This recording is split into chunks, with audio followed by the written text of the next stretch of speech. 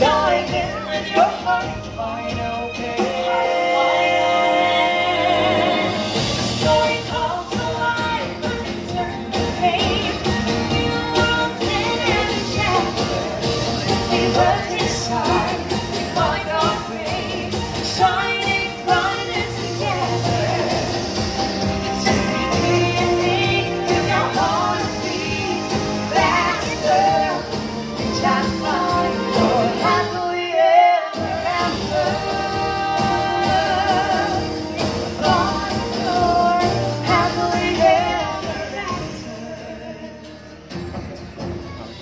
like you.